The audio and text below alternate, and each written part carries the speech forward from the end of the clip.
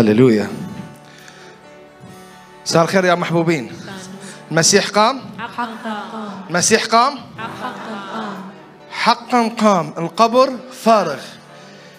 يسوعنا مات وقام. وكل النبوءات التي بالعهد القديم قد تحققت فيه. ليش؟ لأنه هو الله المتجسد. وهذا امتياز العظيم الذي لنا.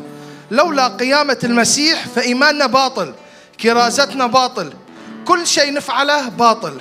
المسيحية بدون القيامة ولا شيء. لذلك قيامة يسوع هي نصرة قيامة يسوع هي فرح. قيامة يسوع هو نقلنا من مكان إلى مكان.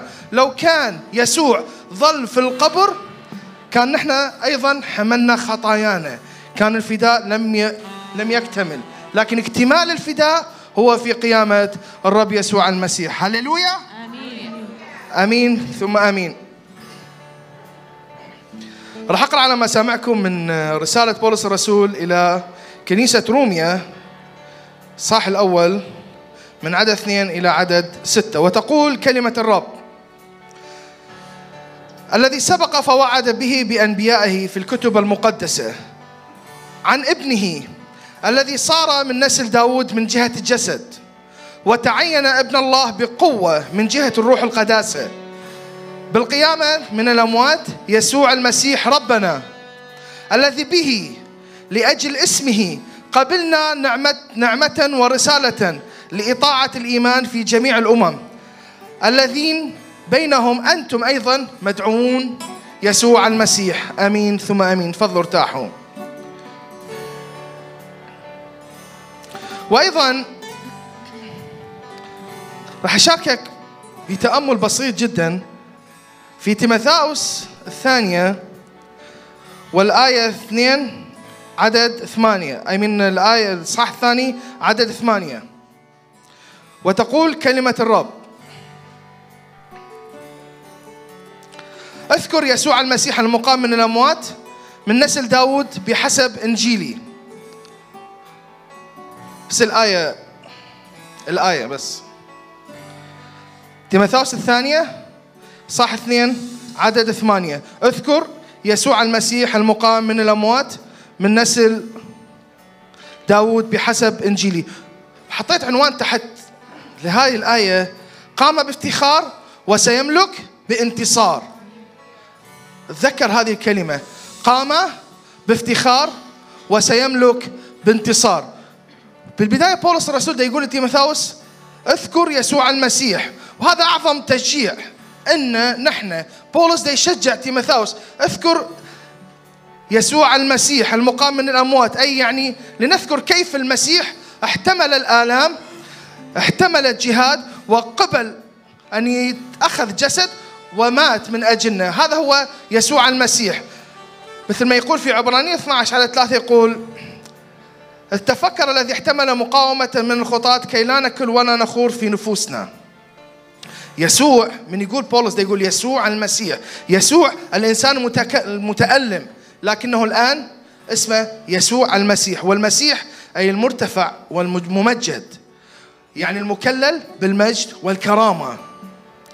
بعدين ده ينتقل ده يقول المقام من الأموات. يقول الذي قام منتصرا في طريق خدمة في طريق خدمته ثلاث سنوات ونص الرب يسوع المسيح المقام من الأموات تسلح بنية الألم حتى الموت. يقول عنه أنه تألم حتى الموت أي موت الصليب. وتذكر صدق كلمته في تيموثاوس اثنين عدد 12 نفس الآية تقول نفس الإصحاح إن كنا نصبر فسنملك أيضا معه ولهذا السبب لقد وصل المسيح للأمجاد لمجد السماء مرورا بالصليب والقبر. وهذا ما يجعلنا أمناء في اعترافنا في المسيحية. والسبب هو ثقتنا في قيامته أن المسيح قد قام. من نسل داود بحسب الآية من نسل داود أي من نسل ملوكي. يسوع المسيح من نسل داود من صبط يهوذا أي من نسل ملوكي. أنه الملك الذي تحققت فيه كل وعود العهد القديم. قرأت كتاب قبل فترة صعب جدا تتحقق كل الوعود في شخص واحد لكن كل الوعود تحققت في شخص واحد الذي هو يسوع المسيح أي المسيا المنتظر مع أنه لم يملك في هذا العالم لكن ملك في قلوبنا. الرب يسوع المسيح قال مملكتي ليست من هذا العالم. الرب يسوع المسيح هو ملك الملوك ورب الأرباب. يسوع المسيح ولد وملك في قلوب كل مؤمن. كل مخلص. هذا هو الامتياز اللي الرب أعطاه لنا لذلك يقول عنا بالكتاب المقدس يقول ويعطيه الرب الإله كرسي داود أبيه ولا يكون لملكه نهاية. مصدقين هذا الوعد؟ ولا يكون لملكه نهاية. موت يسوع وقيامته أي هو ولا يكون لملكه نهاية. هذا هو إلهنا المحب. الآخر كلمة قالها بولس بحسب إنجيلي أي إنجيل المسيح المقام والممجد في السماء الذي وعدنا به بالمجد ذاته. هو اللي قال في إنجيل يوحنا وأنا قد أعطيتهم المجد الذي أعطيتني. لذلك أخوي وأختي اليوم أنت في هذا المكان ليس صدفة. نحن اليوم مجتمعين بدنا نحتفل بقيامة رب المجد. قبل ألفين سنة هو قام هو ذا القبر فارغ.